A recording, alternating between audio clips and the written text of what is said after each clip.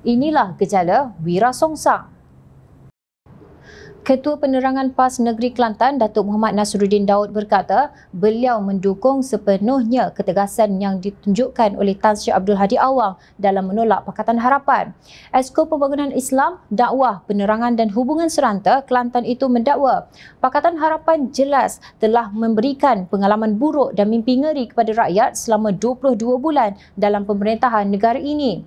Apa lagi yang boleh rakyat harapkan dari Pakatan Harapan yang merugikan umat Melayu atau Islam sehingga pelbagai fahaman liberal masuk ke negara kita dan mencabar akidah Islam dakwanya dalam kenyataan yang diterbitkan Harakah Daily September lalu. Muhammad Nasruddin berkata, sudah tentu menjadi tanggungjawab semua ahli PAS untuk menyambut usaha penyatuan ummah yang dibawa oleh pemimpin mereka. Maka PH sebagai sebuah pakatan yang gagal membawa misi seimbang untuk bangsa dan agama adalah bercanggah dengan prinsip perpaduan berteraskan persefahaman antara kaum dan agama di negara ini, ujarnya. Beliau tidak menyatakan apakah pengalaman buruk dan mimpi ngeri rakyat ketika Pakatan Harapan mentadbir negara ini. Mungkin beliau mengalami demensia teruk sehingga lupa bahawa ketika Pakatan Harapan mentadbir Putrajaya, harga minyak masak 5 kg ialah sekitar 17 hingga 18 ringgit sahaja. Sekarang menurut pengerusi pasukan khas jihad tangani inflasi Tan Sri Anwar Musa, harga minyak masak botol 5 kg diturunkan kepada RM33.50 untuk 8 September hingga 7 Oktober depan.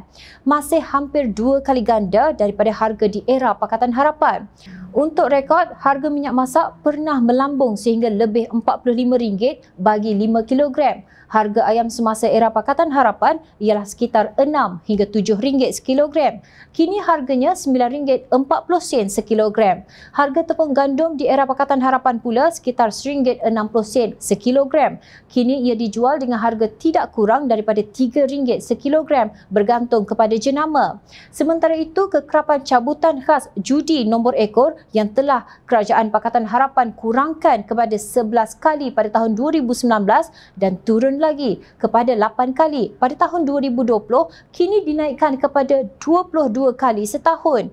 Baru-baru ini pula Mahkamah Seksyen mendapati ahli Dewan Ulama PAS Ahmad Duzuki Abdul Rani memfitnah bekas Menteri Agama Datuk Seri Mujahid Yusof. Kononnya lembaga tabung haji menjual aset kepada orang kafir.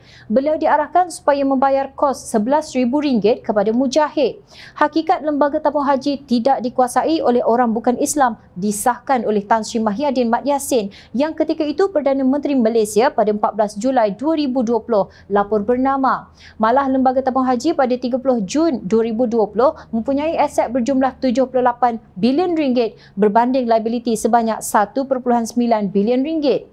Selaras dengan pelaksanaan pelan pemulihan dan perstrukturan tabung haji, aset-aset yang kurang berdaya saing telah dipindahkan kepada sebuah syarikat tujuan khas SPV iaitu Urus Harta Jamaah Sendirian Berhad UJSB yang dimiliki penuh oleh kerajaan di bawah Menteri Keuangan diperbadankan MKD tegas Mahyadin.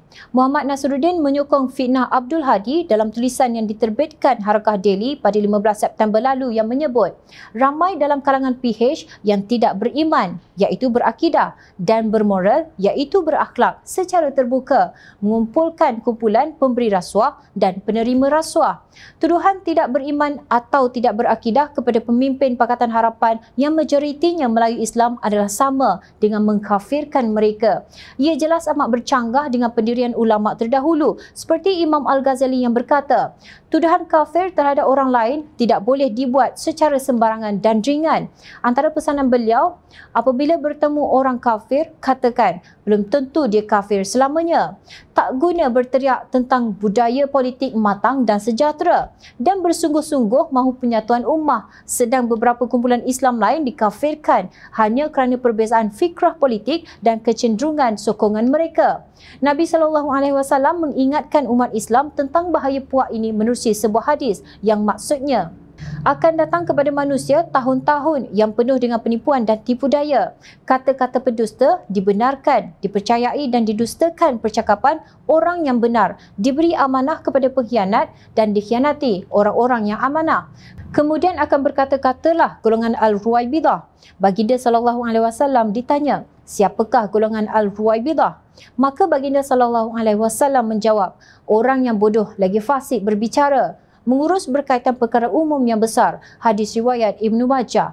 Di antara tanda akhir zaman seperti dalam hadis sahih tersebut ialah munculnya pemimpin yang teruja bercakap dalam perkara berkaitan kepentingan awam, menyatuan ummah, integriti dan rasuah tetapi pada masa yang sama memecah belahkan masyarakat dengan takfiri di samping bersekongkol bersama perasuah. Menurut Naib Presiden Amanah Datuk Seri Dr. Mujahid Yusof, mereka adalah wira songsang yang diraikan walaupun rasuah asalkan Melayu. Lebih teruk apabila pemimpin yang terpalit dengan rasuah ini diangkat menjadi bosku. Kemudian ditambah dengan naratif, malu apa bosku. Mereka yang menentang rasuah pula dikenakan pelbagai gelaran yang mengaibkan oleh puak yang memakai istilah ustaz, tuan guru, murabi ummah dan seumpamanya di hadapan namanya. Keperitan yang didakwa oleh puak ini sebenarnya akan terjadi kepada mereka jika kalah dalam pilihan raya. Kehidupan mewah yang dinikmati sekarang termasuk jawatan menteri cap ayam dan makan gaji buta tidak akan dikecapi lagi. Marilah kita letakkan akal kita di tempat yang sewajarnya yang tolak wirasongsang dan gejalanya daripada terus menguasai pemikiran kita.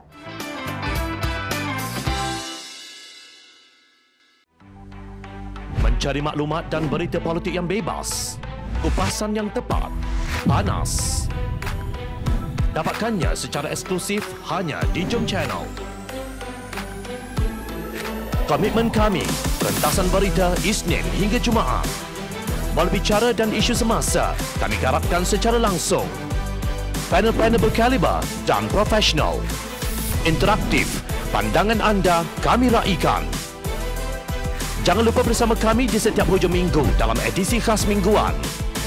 Jom Channel, moving forward, sharing a new experience.